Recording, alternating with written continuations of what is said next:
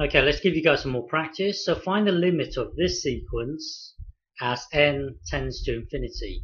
So press pause and have a go. Okay, so to do this, um, realize that you've got one thing multiplying with another thing. So, um, so, so if you look at this bubble here, as n gets bigger and bigger, as n heads towards infinity, this thing here is going to be zero. It's heading towards zero.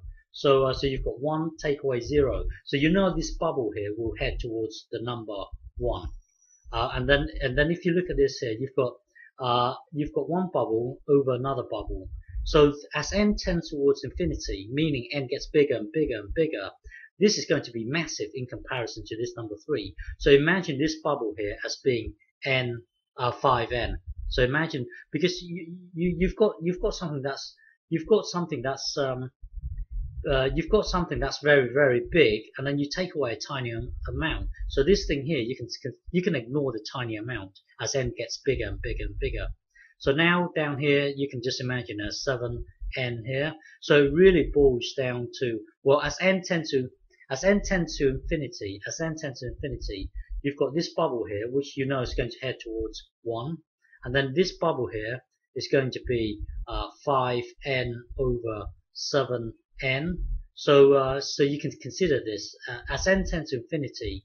Uh, this thing here is heading towards 5 over 7 and then you times times 1. So the limit is going to be 5 over 7. So um, so if you get a graph plotter and plot in your your sequence here uh, and then and then plot y equals 5 over 7 you can see that as n gets bigger and bigger and bigger you can see that's heading towards towards this limit, 5 over 7.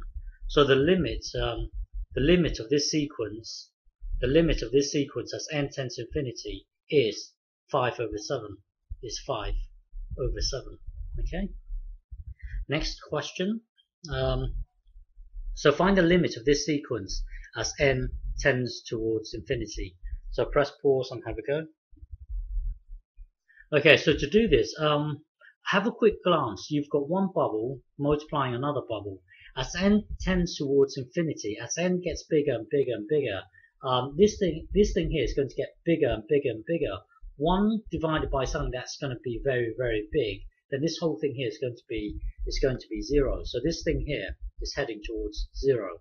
And then the same argument here, you're you're taking away a really well, you're taking away zero here. So you can think of this whole bubble here as being three and then you multiply with uh, 2 plus something very, very small, which is heading towards 0, you can consider this bubble here as 2.